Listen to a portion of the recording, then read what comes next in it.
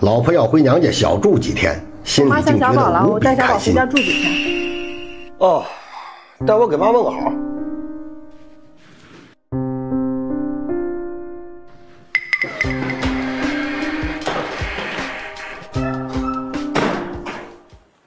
哎呀，哎呀，可算是走了。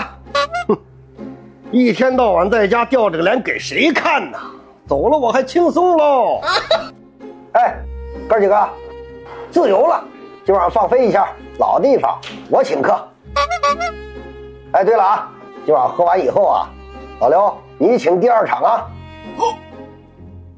得嘞，不见不散，马上出发。嘿嘿。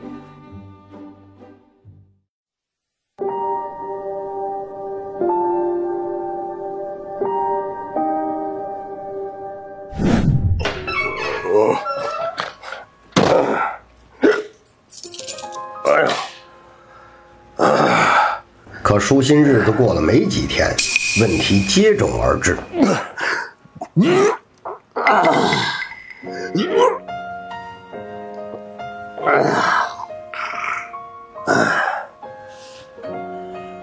老婆，给我倒杯蜂蜜水，倒杯蜂蜜水，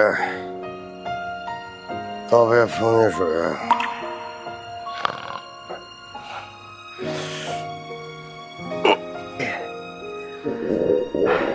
老婆，饭做好了没有啊？几点了？这都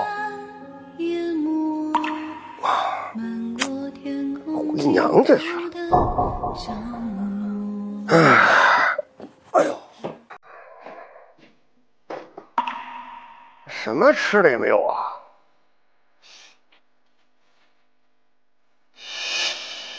好，就碗剩饭。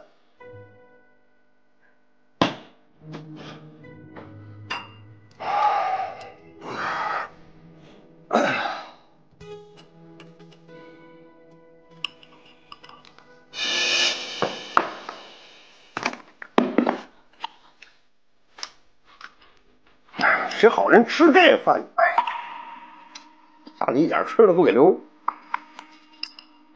哎，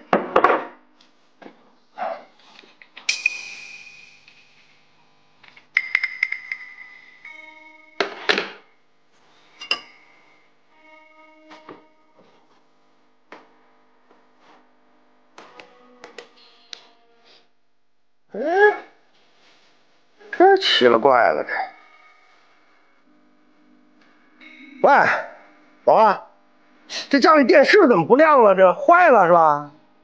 我又不是修电视的，你问我我谁，或者找这别来烦我。不是那那修电视的电话多少啊？不知道，哎你，行啊，这熊娘们真可以啊，挂我电话是吧？行，有你的。这这脾气是，这是好人谁能受得了啊？这是。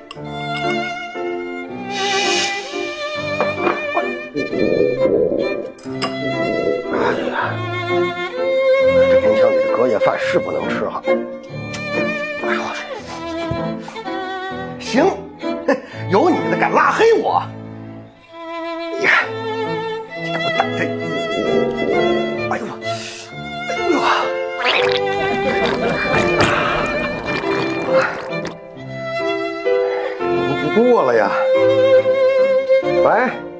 妈，哎，你赶紧过来，给我拿点止泻药过来啊！啊，哎呀，我这都快拉虚脱了，我你你快点吧，在家呢啊！哎，好嘞。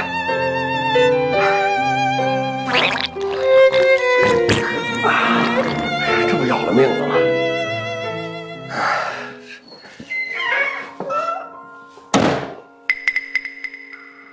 哎呀，这怎么搞的呀？哎，要不要吃？燕子呢？怎么没在家照顾你啊？哎呀妈，你就跟我多余提这个人。你说这回娘家两天吧，脾气还上去了，打电话打电话不接，让他回来吧，直接给我拉黑了。我看呐，这娘们是胃不熟了。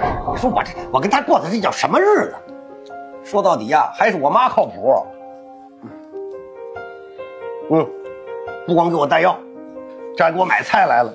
啊，行吧，你晚上就别走了，你给我做个香锅，好长时间没吃你做的饭，馋这口了我都。你先跟妈说清楚，燕子为啥不回来，还不接你电话？哎呀妈，能为什么呀？你先做饭去行不行啊？我这几天一顿正经饭没吃，我见天吃剩饭，能不肚子疼吗？你哎呀，你就当可怜可怜我，你先做饭去行吗？行吧行吧，我做饭去了啊，你先休息会儿。哎呀，这叫什么日子这这？酱香香锅好了，快吃吧。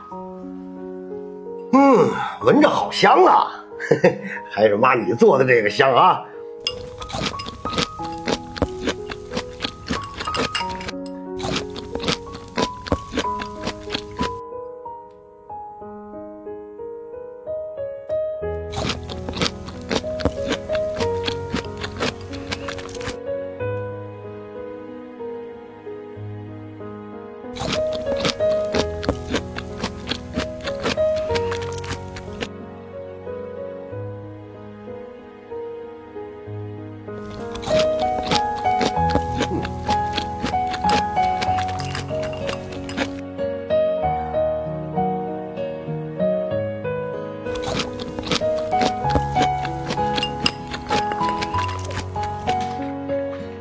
妈，你做的酱香香锅还是那么好吃，口感不辣，酱香味十足，比外边卖的还好吃呢。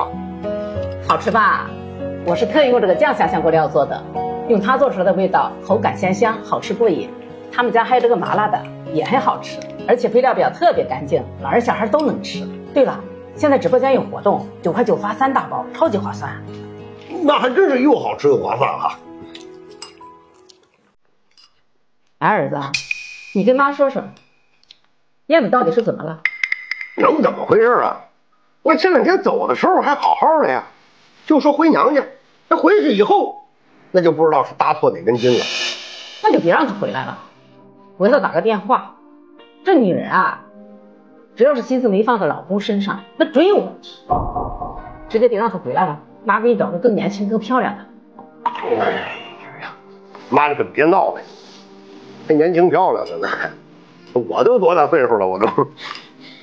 其实要说起来吧，平时你看这家里家外的照顾的都挺好的，是不是？